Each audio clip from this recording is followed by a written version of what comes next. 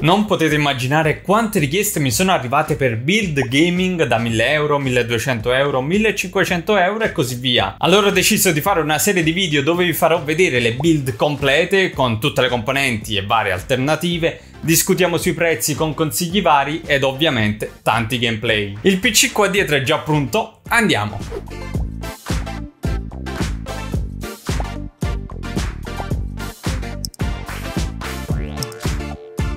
Premessa importante in questi video perché questo fa parte di una serie di video e presto arriverà anche una build per chi vuole rimanere molto il prezzo quindi attivate le notifiche. Dicevo consiglierò delle componenti nuove recenti perché questa tipologia di video viene vista anche dopo diversi mesi quindi voglio che i consigli che si trovano all'interno di questo video siano sempre freschi e aggiornati. Ma non perdiamoci in chiacchiere, il video sarà un po' lungo, vi lascio qui la timeline, vediamo le componenti. Grande ritorno per un processore Intel che avete già visto sul canale e come vi anticipai nel video è assolutamente perfetto per il gaming. Sto parlando del Core i5 11400 meglio se in versione F e un 6 core 12 thread con base clock a 2,6 GHz e max boost a 4,4 GHz. Ed io in questo caso l'ho utilizzato sbloccando il power limit per avere un bel boost di prestazioni dovendo però ricorrere ad un dissipatore a liquido. Lo so, lo so, tranquilli, ritorneranno anche le build con AMD. Come dissipatore a liquido mi sono affidata al nuovo Arctic Liquid Freezer 2 da 240 mm, un dissipatore a liquido fantastico, super apprezzato dalla community, che nella sua nuova versione ha fissato anche il suo unico difetto, non avere dei LED RGB. Arctic ha inserito le sue nuove ventole P12 PVM a RGB che sono davvero bellissime e super silenziose. Appena torneranno disponibili ne prenderò altre perché sono davvero fantastiche.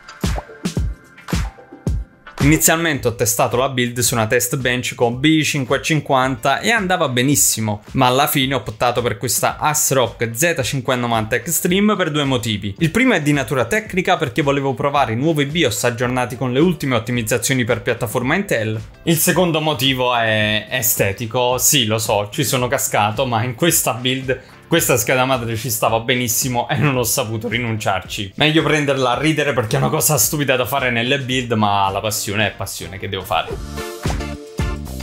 Per quanto riguarda RAM SSD vale il solito consiglio, sono delle componenti che vanno spesso in offerta sul nostro canale Telegram tra l'altro, quindi non ha senso prenderla a prezzo pieno a meno che non si cerchi proprio quella determinata RAM a quella determinata frequenza. Stessa cosa vale per il modulo SSD M2 NVMe, altra componente che va spessissimo in offerta e a questo punto approfitto per ricordarvi l'Amazon Prime Day perché lì si possono fare davvero degli ottimi affari, quindi mi raccomando, tutti i link in descrizione, seguitelo con noi. Io ad esempio se con i due banchi da 8 per un totale di 16 GB di RAM di Crucial Ballistics Max da 4400 MHz sono a posto, al Prime Day vorrei puntare a un modulo SSD NVMe PCI Express 4.0 bello capiente da almeno 2 TB perché qui ho utilizzato un Crucial P5 3.0.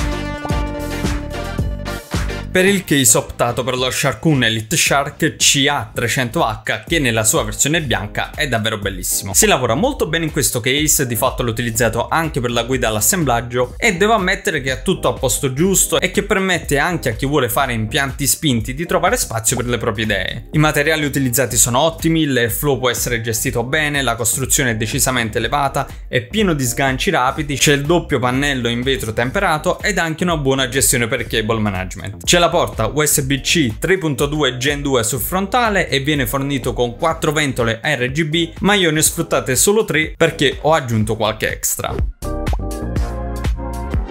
L'extra più importante che ho aggiunto è la ventola posteriore per espellere l'aria calda. Mi sono affidato a Noctua con la sua F12 da 120 mm nella versione Chromax Black con i piedini antivibrazione di colore blu abbinati alla scheda madre. L'altra cosa che ho voluto inserire al solo fine estetico sono i cavi slivati, che ci stanno benissimo in combo con quelli del dissipatore a liquido Arctic. Anche in questo caso li ho presi in offerta su Amazon, sono di un brand che non conoscevo, Asia Horse, e devo ammettere che sono molto belli si tirano bene, non sono super rigidi. Per esempio con quelli per la scheda video ho dovuto combattere un po'.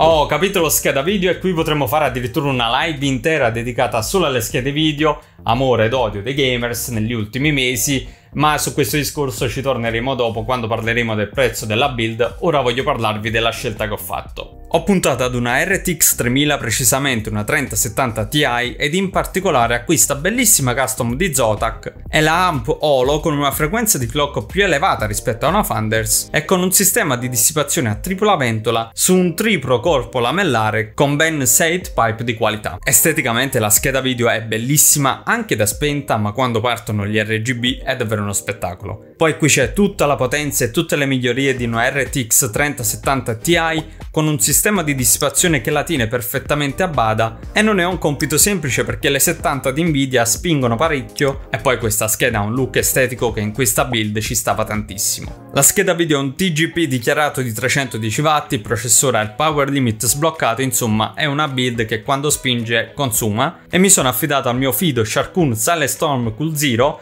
che è sovradimensionato perché 850 watt sono comunque tanti ma la modalità 0 RPM funziona alla grande e devo ammettere che mi sto trovando benissimo. Bene, direi che è arrivato il momento di vedere la build finale.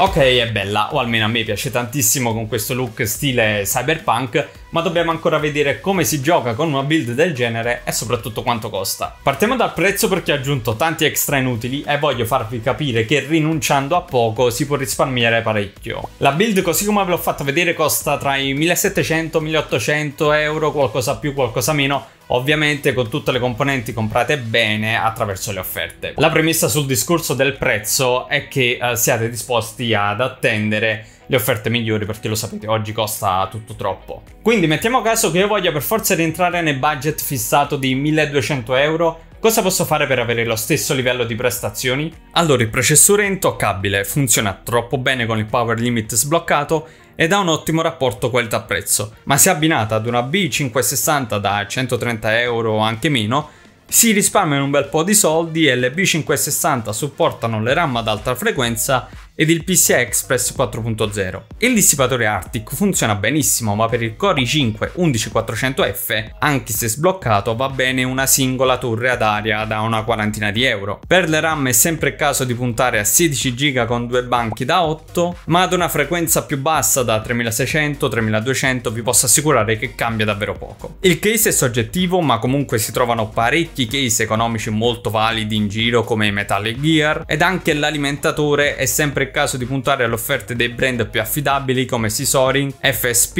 NMAX, Be Quiet e così via. Evitate poi ventole troppo costose, cavi slivati sono cose inutili che riguardano solo l'estetica e puntate tutto sulla prontezza per prendere una GPU a prezzi onesti. Non vi dico di risparmiare sulla GPU perché è impossibile, la fascia media come una 1660, una 1660 Super nel 2021 ad oggi, 2021 inoltrato, costano circa 780 euro. Visto dei prezzi davvero assurdi e quindi è davvero una sciocchezza. Meglio puntare su una componente recente come una 3070, una 3070 Ti di Nvidia che vi assicura ottime prestazioni in ray tracing con DLSS ed anche se non si trova nei prezzi MSRP, con un po' di pazienza e prontezza si possono prendere anche sotto gli 800 euro. Non sto qui a vendervi false speranze, il mercato è questo, la situazione delle schede video non tornerà normale a breve, anzi i prezzi alti potrebbero addirittura anche essere una costante in futuro, eh, ma magari attraverso una disponibilità migliore e più competizione sarà più facile ricevere qualche tipo di offerta. Quindi a seconda della disponibilità ad attendere il prezzo migliore e a saper comprare o magari attendere eventi come il Prime Day, il Black Friday e così via,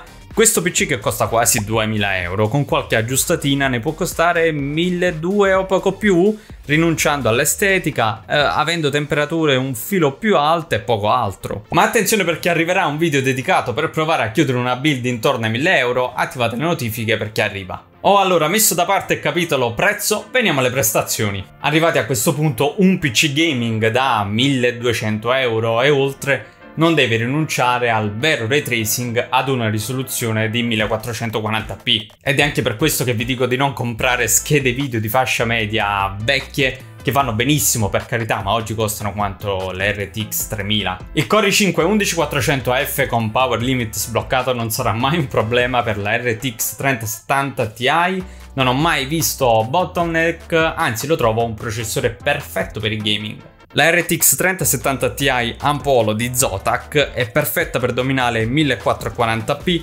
anzi io l'ho spinta oltre con 3440x1440p, con ray tracing su folle DLSS e tutti, ripeto, tutti i dettagli al massimo con campo di visione enorme e tutto quello che si può fare per far calare le prestazioni ma nulla ne esce alla grande ed infatti con qualche settaggio giusto è possibile giocare in 4K o ad un 2K ma con frame rate molto elevato. Insomma, qui le prestazioni non si discutono, sono assolutamente fantastiche. Vi lascio il gameplay e vi ricordo che la risoluzione dei giochi è su 3440x1440p, dove è possibile c'è il ray tracing impostato su folle DLSS su bilanciato quindi vado a specificare che questi dati che vi do possono essere migliorati molto molto semplicemente anche perché è stupido giocare con tutto al massimo campo di visione poi vabbè dipende chiaramente dai gusti uh, ma possono essere migliorati molto molto semplicemente. Volevo farvi vedere che meno di così non va e direi che già così è tanta roba. Ma sto parlando anche troppo vediamo i giochi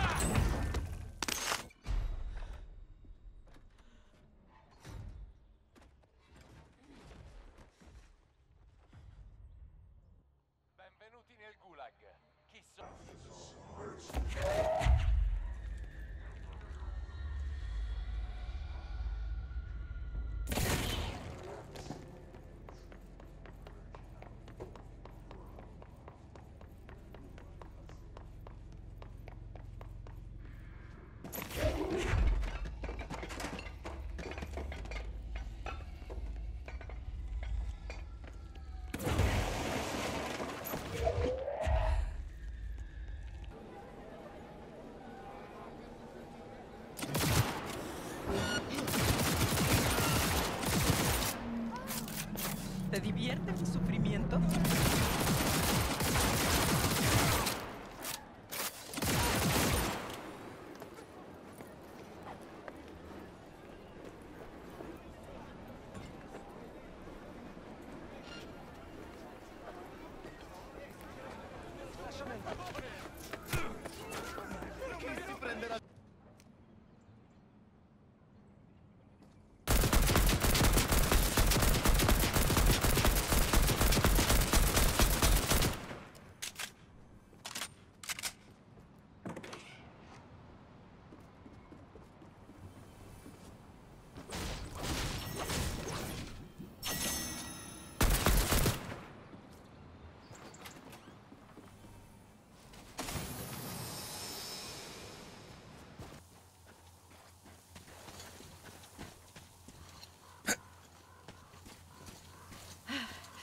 Sei vivo! Grazie al cielo! Riecco Artyom, riemerso dall'inferno dell'occupazione NATO. Grazie per le informazioni, Katia. Ma c'è un'altra cosa che vorrei chiederti. Merda! Non so dove mettere le mani. Ciao Artyom! Ci si rivede, Artyom! Hai fatto faville là fuori, eh?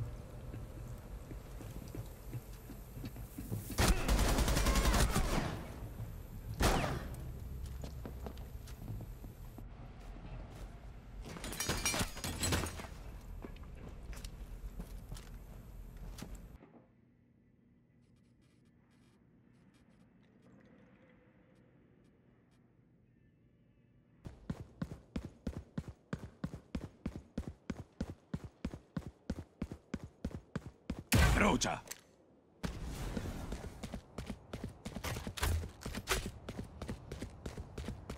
Brucia!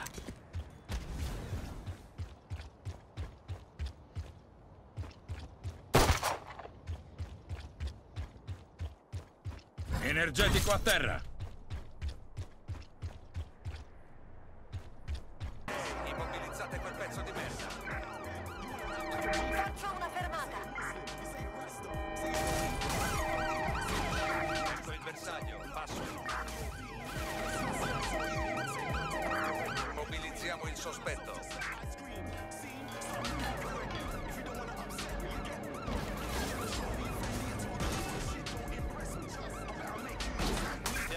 Seguendo il sospetto.